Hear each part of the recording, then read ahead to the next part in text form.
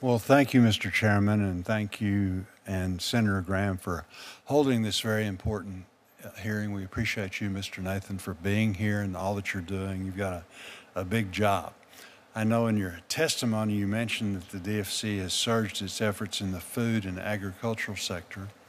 Uh, food security is national security for all of our countries, and that you continue to actively look for more viable projects to support can you tell us what types of projects has the DFC supported in improving food security in developing countries? Uh, thank you for the question, Senator. Um, particularly after Russia's illegal and brutal war on Ukraine, the issue of food security globally has become even more critical and highlighted. Uh, it's been one of the reasons why uh, we've surged our effort, had a special focus on it.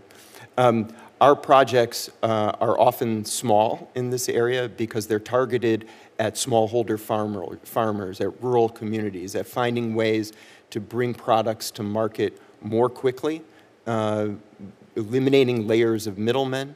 We've invested in companies that provide technology and financing to smallholder farmers.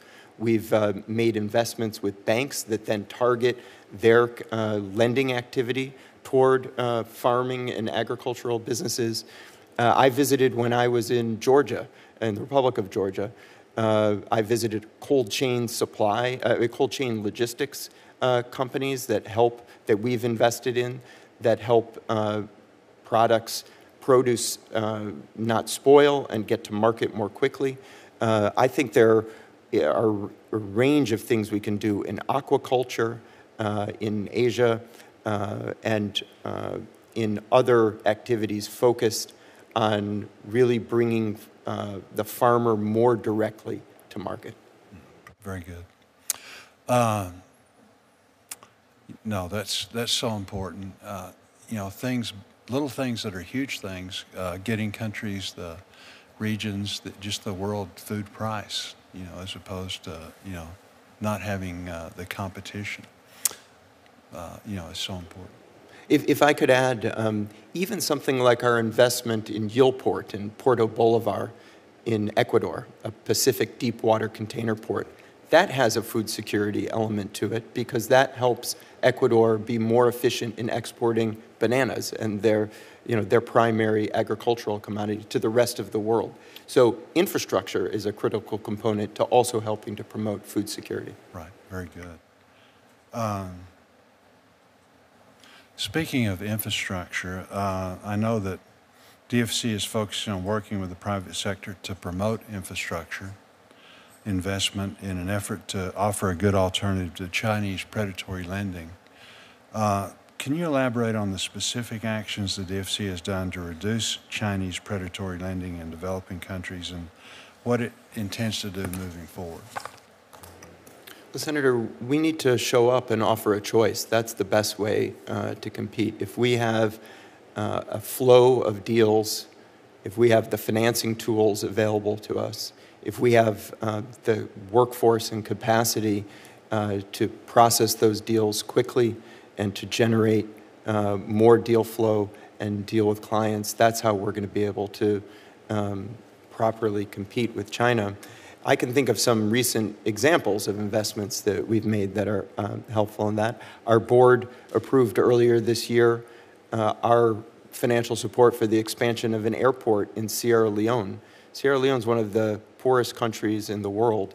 Anything we can do to help connect them to their region, to the world, to help their economy. We're also um, financing the building of a power plant in Sierra Leone. This is a country with an extremely low level of electricity penetration. That's a key to, de to development.